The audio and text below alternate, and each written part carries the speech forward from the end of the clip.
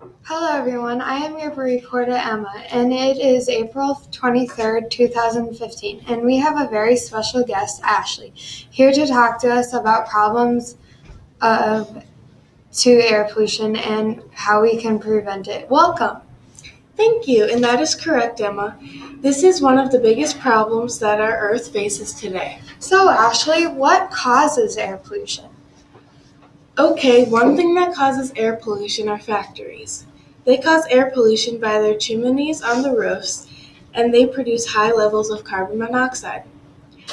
But I personally think the number one cause of air pollution is car exhaust. Did you know that every car on every road adds a little more pollutants to the air every second of every day? Wow, that's a big problem. So, what are solutions people can do alone to prevent car exhaust? That's a good question, and there are two easy answers. One, avoid speeds and heavy braking, which both waste fuel. And two, you can also exercise more and walk, bike, or carpool to reduce the use of vehicles. That sounds easy enough. Do you have any solution ideas? Yes, I do. Thank you for asking. My solution idea is to make a solar powered car. The outside of the car is solar powered, and the solar panel is built into the metal outer layer so it is not visible and ugly. The car has a sensor that tells itself when it's rainy or cloudy to store more and use less.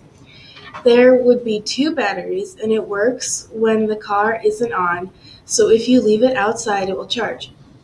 So the leftover energy will be stored in one of the batteries and will and when the energy gets lower than average on a rainy or cloudy day, the rest of the energy can heat up water that is in the car and it will power the car.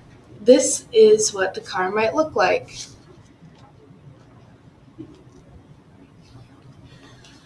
That's a very interesting solution to prevent some air pollution, and I personally think it will work. Why should we care about this problem and the solution? Okay, you can go days without food and hours without water, but you can only last a few minutes without air. Humans consume about 3,000 gallons of air each day. However, did you know that breathing polluted air can make you really sick? Also, air pollution can affect trees, crops, other plants, and even animals.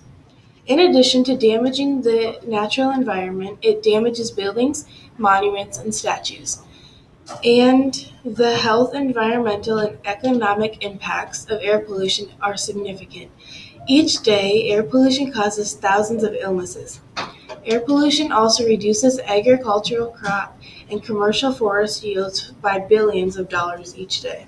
So I hear you're entering your solution in a contest for a hundred thousand dollars. If you win, what will you use the money for?